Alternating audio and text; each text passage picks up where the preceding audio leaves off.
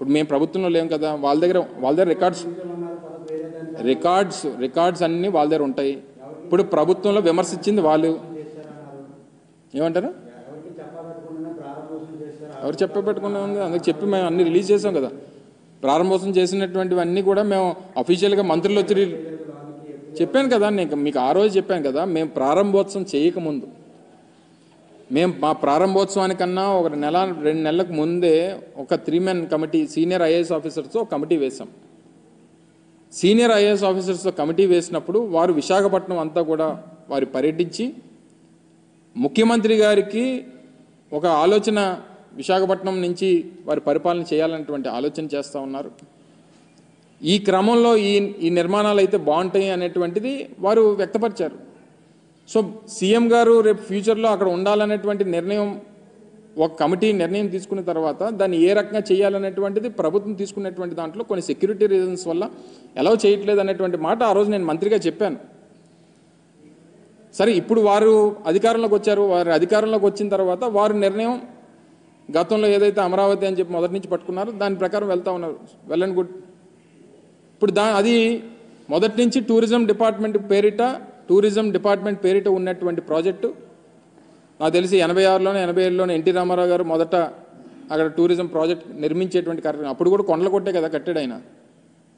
అప్పుడులో తెలుగుదేశం పార్టీ ఏదైనా కొత్త టెక్నాలజీ వాడి చెట్లు కొట్టకుండా ఏదైనా నిర్మాణాలు చేశారేమో నాకు తెలియదు కానీ అప్పుడు కూడా చెట్లు గిట్లు కొట్టే అక్కడ టూరిజం ప్రాజెక్ట్ పున్నమయ్య ఏదో ఉండేది అనుకోండి హరిత టూరిస్ట్ ప్రాజెక్ట్ ఉండేది. Tourism project. సో మేమేమంటామంటే ఇప్పుడు మీరు ఒక నిర్ణయం తీసుకున్నారు. లేదా విశాఖపట్నానికి ఒక మంచి గవర్నమెంట్ గెస్ట్ హౌస్ ఏముంది చెప్పనండి? ఎవరు వచ్చినా సరే ముఖ్యమంత్రి గారు వచ్చినా గతంలో లేకపోతే చంద్రబాబు నాయుడు గారు అప్పుడు ముఖ్యమంత్రిగా వచ్చినా వెళ్ళి ఏ ప్రైవేట్ హోటల్స్లోనో లేకపోతే ఎక్కడో ఉండేటువంటి పరిస్థితులు ఉండేవి. సో ఏదున్నా సరే అది గవర్నమెంట్కి సంబంధించింది. ఇప్పటికీ కూడా టిల్ టు డేట్ నాకు తెలిసి టిల్ టు డేట్ వాళ్ళు ప్రభుత్వంలో ఉన్నారు. దాని మీద ఉన్నటువంటి అన్నీ కూడా టూరిజంకి సంబంధించినటువంటి డిపార్ట్మెంట్ పేరిటే ఉన్నాయి. ఏ రకంగా వినియోగించుకోవాలనేటువంటిది ప్రభుత్వం నిర్ణయం తీసుకోవాలి. ప్రభుత్వంలో ఉన్నటువంటి పెద్దల నిర్ణయం తీసుకోవాలి. సో దాని ప్రకారం తీసుకోమని చెప్పి మేము కోరుతా ఉన్నాం. దీన్ని ఎవరి మీద రుద్ది ఇది పలానా వాళ్ళది పలానా వాళ్ళది అని చెప్పానంటే అర్థం లేదు కదా? సో దాని ప్రకారం వారు అనవసరమైనటువంటి తప్పుడు ప్రచారం చేయొద్దనేటువంటిది మా తాలూకా మనవి.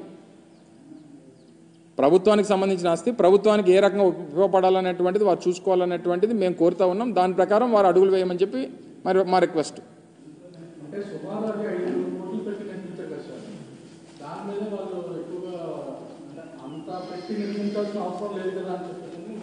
ఇప్పుడు ప్రాజెక్టులకి ఎంతెంత ఖర్చు అవుతాయమ్మా ఒక ప్రాజెక్ట్కి ఒక రకమైనటువంటి ఎక్స్పెండిచర్ ఉంటుంది. ఇప్పుడు తీసుకొని వెళ్ళి ఏదో చూపించారు.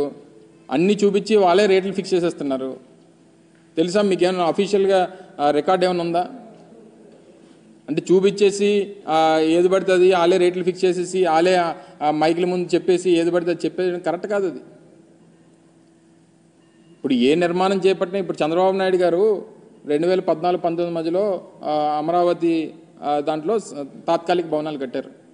ఎంత ఖర్చు అయింది అనుకున్నాం స్క్వేర్ ఫుట్కు పది పదివేల రూపాయలు.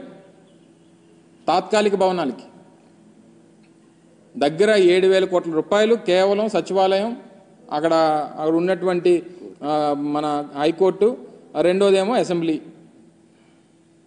ఆ సీడ్ ఏడు వేల కోట్ల రూపాయలు ఖర్చు పెట్టారు. నేను అనేది ఏంటంటే ఇవి పర్మనెంట్ బిల్డింగ్స్ కట్టామంటే ఒక ముప్పై నలభై సంవత్సరాలు శాశ్వతంగా ఉండాల్సినటువంటి అవసరం ఉంది. ప్రజలకు సంబంధించినటువంటిది ప్రభుత్వానికి సంబంధించినటువంటి ప్రాపర్టీ అది. అది ఎవరు వినియోగించుకోవాలనేటువంటి ప్రభుత్వాలు నిర్ణయం తీసుకుంటాయి. సో ప్రభుత్వంలో వారు ఉన్నారు ఏ రకంగా చేయాలనేటువంటి వారు నిర్ణయం తీసుకోవాలి. ఎవరు పట్టుకెళ్ళిపోయేది కాదు కదా. సో ఏదన్నా ప్రభుత్వానికి సంబంధించి ప్రభుత్వ ఆస్తిగానే ఉంటుంది నేను అనేది సో దాన్ని ఏ రకంగా సద్వినియోగం చేసుకోవాలనేటువంటి వారు నిర్ణయం తీసుకోవాలి రోజుకు హై సెక్యూరిటీ ఉన్న ఈస్టర్న్ కమాండ్ నేవల్ కమాండ్ ఏరియాలోనే అక్కడే బస్ చేసేవారు ప్రెసిడెంట్ వచ్చినా సరే ప్రైమ్ మినిస్టర్ వచ్చినా సరే. అంత కట్టుదిట్టమైన భద్రత ఏర్పడుతున్న ప్రాంతాన్ని కాదు ఇందులో ఇస్తారా వాళ్ళ ప్రధానంగా వాళ్ళు కూడా ఆలోచిస్తారు. సి ప్రధానమంత్రులు ప్రధానమంత్రి గారు కానీ రాష్ట్రపతి గారు కానీ ఎక్కడున్నా సి వారి ప్రోగ్రామ్స్కి వచ్చినప్పుడు వాళ్ళ ఆధీనంలో ఉంటారు. జనరల్గా త్రివిధ దళాలకి అధిపతిగా రాష్ట్రపతి ఉంటారు కాబట్టి సహజంగా ఈస్టర్న్ నేవల్ కమాండ్ ప్రోగ్రామ్స్ ఎక్కువగా వచ్చేది మన దగ్గర రాష్ట్రపతి దేనికి వస్తుంటారు? నేవల్ సంబంధించినటువంటి యాక్టివిటీస్లో మేజర్గా మనకి పార్టిసిపేట్ చేస్తుంటారు. సో ఎవరు వచ్చినా దేనికి వినియోగించుకోవాలి గవర్నర్ గారు వస్తారు గవర్నర్ గారికి వినియోగించుకోమనండి. సో ఎవరు వచ్చినా అది ప్రభుత్వానికే కదా అని అంటున్నాను నేను. వాళ్ళు చిత్రీకరించింది ఏంటంటే నిన్న వారంతా కూడా చిత్రీకరించింది ఇది జగన్మోహన్ రెడ్డి గారి బిల్డింగు. జగన్మోహన్ రెడ్డి గారి బిల్డింగ్ ఒకవేళ మళ్ళీ ముఖ్యమంత్రి గారు ఏంటంటే బహుశా ఆయన అక్కడి నుంచి పరిపాలన చేసేవారేమో. ఇప్పుడు వారు కదా ఇప్పుడు చంద్రబాబు నాయుడు గారు కదా ముఖ్యమంత్రి. సో నేను అనేది ఏంటంటే దాన్ని ఏ రకంగా వినియోగం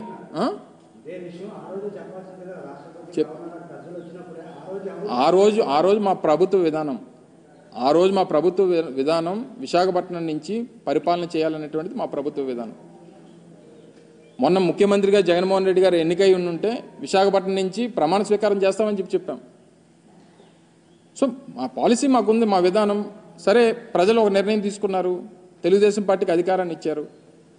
ఇప్పుడు దాన్ని ఏ రకంగా వినియోగించుకోవాలనేటువంటి దాని మీద మా సలహా ఇప్పుడు చంద్రబాబు నాయుడు గారు మా- కోరిక అయితే విశాఖపట్నం నుంచే విశాఖపట్నాన్ని రాజధాని చేయాలని. కానీ వారి నిర్ణయం వారి విధానం వారికి అమరావతి.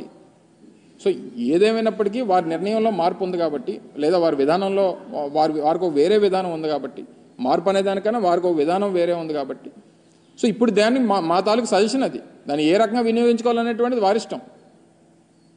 ఒకవేళ మేమే అధికారంలోకి వచ్చి ఉంటే మా గతంలో మా అధికారులు చెప్పినట్టుగా వారు సూచించినట్టుగా ముఖ్యమంత్రి గారు అక్కడి నుంచి పరిపాలన చేసేవారు. మా మా విధానం అది. సో ప్రజలు ప్రజాస్వామ్యం దీనికి ఒక నిర్ణయం వచ్చింది. ప్రజల నుంచి ఒక తీర్పు వచ్చింది. తీర్పు ప్రకారం వారు అధికారంలోకి వచ్చారు. వారి విధానాలు ఒకటి ఉన్నాయి. వారి విధానాల ప్రకారం చేస్తారు మా తాలూకు సజెషన్ అది. దాన్ని ఏ రకంగా వినియోగించుకోవాలనుకున్నా అది ప్రభుత్వ ఇష్టం. మా ఇష్టం కాదనేటువంటిది ప్రజలు తెలుసుకు ప్రజలకు తెలుసు. అది మా ఇష్టం అన్నట్టుగా మా కోసం కట్టుకున్నాం అన్నట్టుగా దాన్ని చిత్రీకరించడం కరెక్ట్ కాదనేటువంటిది మా అభిప్రాయం. దాన్ని మేము క్లారిటీ ఇస్తున్నాం తప్ప ఇంకే దానికి సంబంధించి ఏ నిర్ణయం తీసుకోవాలన్నా ఇప్పుడు ఉన్నటువంటి ప్రభుత్వం తీసుకోవాలనేటువంటిది మా